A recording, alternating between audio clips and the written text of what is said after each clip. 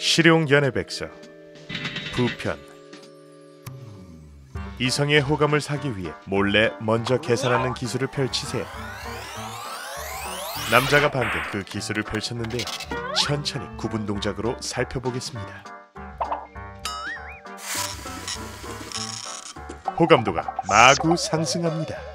자, 이제 자신 있게 당당한 포즈로 결제하세요. 아이고, 안 돼요. 과소비는 오히려 역효과입니다. 카드 대신 청춘을 불태우세요. His Story, History. 4월 26일. 데뷔.